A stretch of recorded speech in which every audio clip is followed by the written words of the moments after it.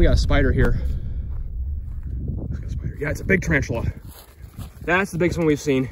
What I'm hoping to find is a huge tarantula, and I'm gonna free handle it to see if tarantulas are dangerous to people. I'm in Kisatchie National Forest in north central Louisiana looking for spiders. But not just any spiders. Elusive giants, normally associated with the deserts of the southwest and the rainforests of South and Central America. Today, we're looking for tarantulas in Louisiana. This hilly, rocky terrain has the perfect hot and dry habitat, and according to our guide CJ, these massive spiders thrive out here if you know where to look. I've been working with spiders for a long time. For the longest time, I was pretty afraid of these little eight-legged guys. But this year I've been working with wolf spiders, fishing spiders, uh, here in Louisiana handling venomous species like recluses and widows. There's one last spider, one last spider that'll kind of top off my adventures for this year, and that is a tarantula. We're here in Kisatchie National Forest, flipping rocks, looking for all kinds of crazy arachnids and myriapods, but what I'm hoping to find is a huge tarantula and I'm gonna free handle it to see if tarantulas are dangerous to people.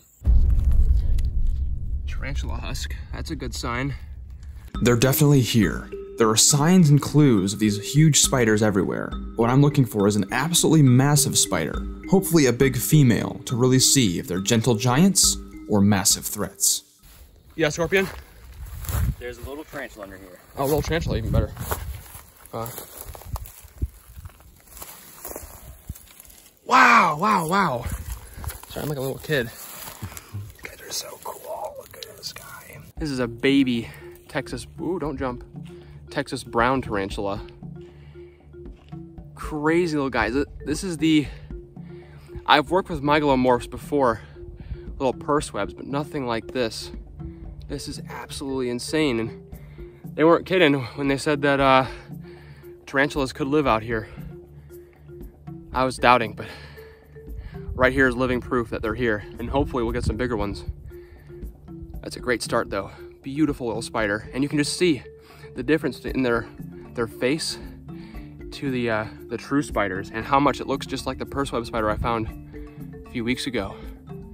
That looks absolutely nuts. Just how crazy looking this animal is. Oh wow. Baby. Texas brown tarantula. I'm gonna get him back underneath his rock because it is obscenely hot out here and we don't want them to cook. But uh, looking like some good hunting out here, so we'll get some big tarantulas in just a minute.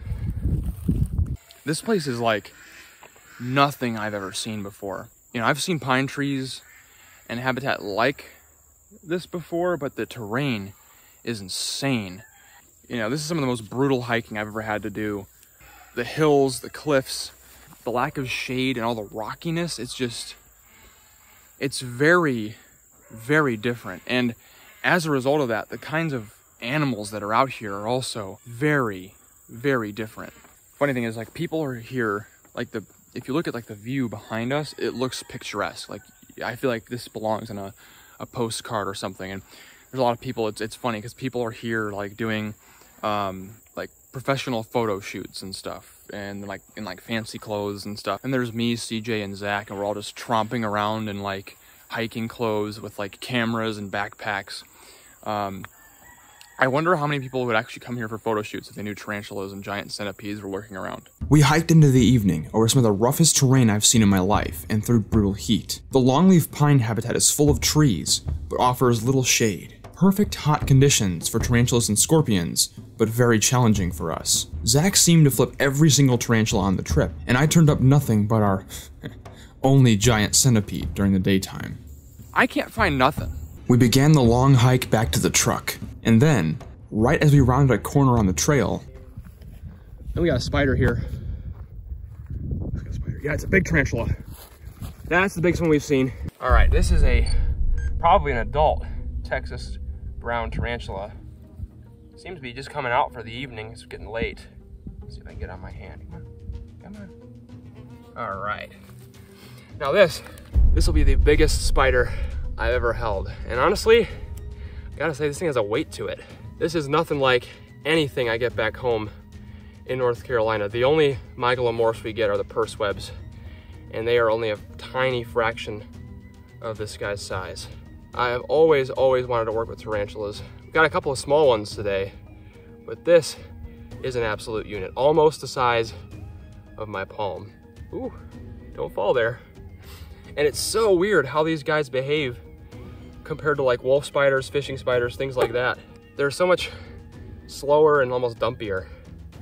Uh, we had one that was a little bit feisty, but even the feistier end of these guys, not as skittish as a wolf spider or a fishing spider would be. Not gonna bare fangs for us. Just gonna walk around. Now, these guys are incredibly itchy when they walk over you. Unlike the other spiders I've worked with, they have these really weird little hooks on their feet. And they almost like, I don't know, irritate my skin. I don't know if it's like the combination of sweat too, but like I feel itchy with this guy walking on me. Unlike with the other spiders, which almost just feel like a regular bug or something walking on my skin. This guy's much itchier. Wolf spiders and fishing spiders are they're jumpy. They, they you know, the slightest movement of your hand and they, they jerk or they jump off into oblivion. Um, I don't get the sense the tarantula would, would do that. So I, I'm feeling very secure that I'm not gonna like injure the animal. That's, that's the first and number one priority. A bite from this tarantula would absolutely hurt. Those fangs are massive. This is a huge, huge spider. And even just, even if there was no venom involved at all, um, fangs of those size sinking into my hand, that is gonna hurt. But that venom is actually not that bad. See, what I'm actually more worried about with a tarantula here in the Western Hemisphere, a New World tarantula, what I'm actually more worried about is its hairs. And that's because that hair is actually a really interesting defense mechanism. Sort of like a porcupine. If you really piss one of these spiders off, they can flick those hairs at you like projectiles. Now, if it gets my hand, it'll cause me to itch unless I have an allergic reaction. But what I'm most concerned about is my face and my eyes. If this if this tarantula flicks hairs into my in my hand, it'll itch, yeah. But if it gets in my eye, that could be serious damage. We're talking potentially blinding. But see, the thing is, the projectile hairs are only used in defense. This is not an animal that's gonna simply rear up and flick hairs at you just because you're in its space. We had to go way out of our way, especially here in Louisiana, to find this spider. So in most cases, in most parts of these animals' range, they're not gonna be in your house.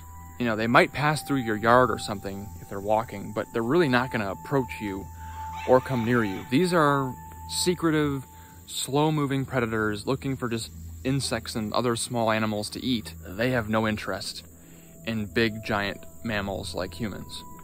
So my final verdict is, the tarantula might be big and scary looking, but looks are about as threatening as this thing gets. Huge, huge spider here in Louisiana. At this point, it's hard to say what the, what the highlight of my trip is. These guys are all awesome. We're sending this guy back on his way. But if you want to see the previous biggest spider that I ever caught, check out this video right here. And until then, don't forget to get outside and find your own adventure.